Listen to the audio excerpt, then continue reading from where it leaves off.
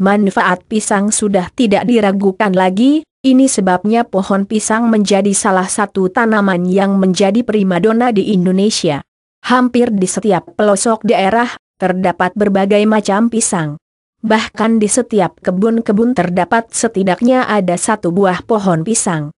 Buah yang satu ini memang multiguna, berbagai jenis makanan menggunakan buah pisang sebagai bahan dasar ataupun pendampingnya. Kandungan gizi pisang Manfaat pisang-pisang-pisang adalah salah satu buah yang paling banyak dikonsumsi di dunia untuk alasan yang baik. Buah kuning berbentuk melengkung yang dibungkus dengan segudang gizi besar. Pisang tumbuh setidaknya di sekitar 107 negara dan menempati peringkat keempat di antara dunia tanaman pangan yang dinilai secara moneter. Manfaat kesehatan yang mungkin didapatkan dari mengkonsumsi pisang termasuk menurunkan risiko kanker, asma, menurunkan tekanan darah dan meningkatkan kesehatan jantung. Rincian gizi pisang ukuran sedang, sekitar 126 gram, dianggap satu porsi. Satu porsi pisang mengandung 110 kalori, 30 gram karbohidrat dan 1 gram protein. Selain itu, pisang menyediakan berbagai vitamin dan mineral, Vitamin B6 0,5 mg mangan 0,3 mg vitamin C 9 mg kalium 450 mg serat 3 gram protein 1 gram magnesium 34 mg folat 25.0 mcg riboflavin 0,1 mg niacin 0,8 mg vitamin A81 I besi 0,3 mg asupan pisang yang direkomendasikan untuk orang dewasa adalah 4700 200 mg per hari. Manfaat pisang sangat baik untuk kesehatan. Menambahkan pisang dalam menu diet harian, memiliki berbagai manfaat dalam tubuh. Pisang membantu tubuh mencapai tujuan penurunan berat, menjaga perut tetap sehat, memberikan nutrisi yang mengatur irama jantung dan memiliki senyawa vitamin untuk kesehatan mata. 1. Melancarkan peredaran darah pisang memiliki kandungan potasium yang baik untuk peredaran darah. Kandungan kalium membantu mengatur tekanan darah. Hal ini dapat menekan resiko stroke yang menyebabkan timbulnya gejala penyakit jantung. 2. Membantu pencernaan pada usus. Serat yang terkandung dalam pisang sangat baik untuk mengurangi resiko sembelit. Tidak perlu menggunakan obat pencahar, cukup konsumsi saja buah pisang. Mencampur pisang dengan segelas susu, membantu mengurangi resiko penyakit usus seperti yang berbahaya seperti terjadi gejala kanker usus besar. Pisang digunakan untuk menahan inflamasi karena proses tersebut dapat dipercepat dengan vitamin C pisang. 3. Menjaga kesehatan mata. Manfaat pisang membantu menjaga kesehatan mata.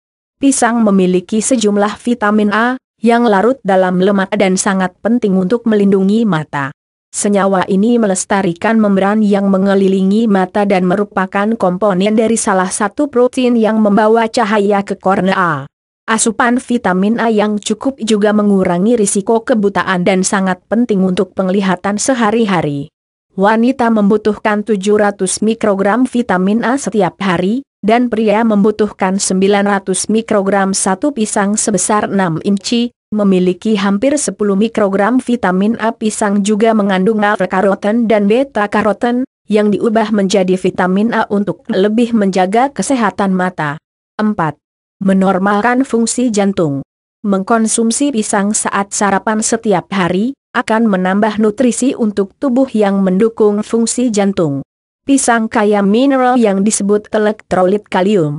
Ketika kalium masuk ke dalam tubuh, akan langsung ke dalam aliran darah melalui dinding usus. Kalium berjalan di sekitar sel-sel di seluruh tubuh dan larut dalam cairan sel. Proses ini terus mengalir di seluruh sistem tubuh, yang diperlukan untuk membuat jantung tetap berdetak. Dalam kasus kekurangan kalium yang parah, irama jantung mungkin menjadi tidak teratur, yang dapat mematikan. Manfaat pisang untuk pengobatan. Kandungan buah pisang yang kaya nutrisi ini juga memberikan manfaat sebagai media pengobatan seperti berikut ini. 5. Anemia kandungan Fv, zat besi, menjadikan buah ini baik dikonsumsi untuk penderita kurang darah. Konsumsi dua buah pisang per hari. Top herbal untuk anemia 6. Asma sebuah studi yang dilakukan oleh Imperial College London menemukan bahwa anak-anak yang makan hanya satu buah pisang per hari memiliki peluang 34% lebih kecil untuk mengalami asma. 7. Liver buah pisang yang dicampur dengan madu, memberikan stimulan untuk nafsu makan bagi penderita liver. 8. Diabetes penelitian telah menunjukkan bahwa diabetes tipe 1, yang mengkonsumsi diet tinggi serat memiliki kadar glukosa darah dan meningkatkan lipid dan insulin. Satu pisang ukuran sedang menyediakan sekitar 3 gram serat. Top herbal untuk diabetes 9. Diare jenis makanan seperti saus apel dan pisang, direkomendasikan untuk perawatan diare. Elektrolit seperti kalium, akan hilang dalam jumlah besar selama masa diare sehingga dapat membuat penderita yang terkena dampak merasa lemah. Manfaat pisang mampu menyehatkan otak. Pisang sebagai sarapan di kalangan negara maju menjadi salah satu pilihan terbaik. Campurkan potongan pisang pada seral, memberikan sumber kalori yang cukup untuk mengawali aktivitas sebuah penelitian yang diikuti 200 pelajar, membuktikan bahwa konsentrasi belajar mereka meningkat sejak menjadikan menu pisang pada sarapan. Kandungan kalium pada pisang, memberikan stimulun pada otak. Pada bayi yang baru memulai memakan makanan padat, pisang menjadi pilihan yang baik karena bertekstur lembut dan baik untuk perkembangan otak bayi. Manfaat pisang baik bagi ibu hamil. Seorang ibu hamil memerlukan konsumsi yang baik untuk dirinya dan janin yang dikandung. Asam folat membantu mencegah cacat bawaan pada anak. Sekitar 85-100 kalori terkandung dalam pisang, hal ini penting untuk pembentukan sel-sel baru pada janin. Selain itu pisang dapat mengurangi morning sickness pada ibu hamil dan menjaga kadar gula darah tetap stabil pada ibu hamil.